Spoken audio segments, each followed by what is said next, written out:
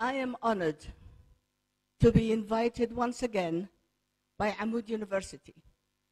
Amoud University is a pioneering university that started the very first institution of learning in Somaliland. It had the courage to do so, it had the capacity to do so, and it did it.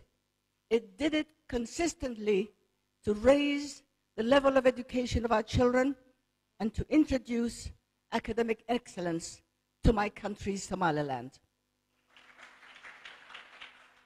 I value our partnership because we have a shared vision. The vision that I have at the Edna Adan University is one that we hope brings knowledge and academic learning to many young people in the field of health. We are honored to have pioneered the training of nurses in Somaliland, to have pioneered the training of midwives in Somaliland, to have pioneered the training of lab technicians and pharmacists in Somaliland.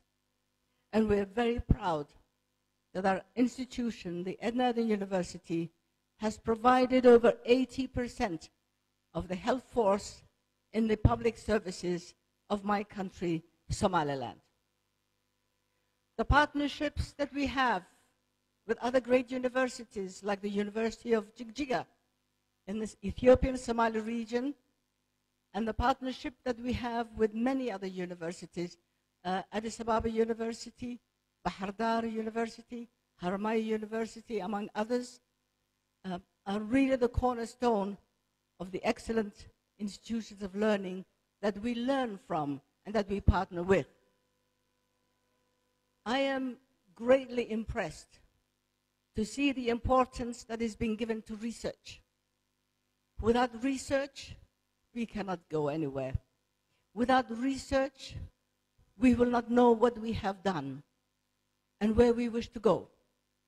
Without research, we cannot claim to be academic institutions. So once again, I congratulate Amoud University for, to have brought this international conference to my home country, Somaliland. Ladies and gentlemen, it is not always easy to run learning institutions.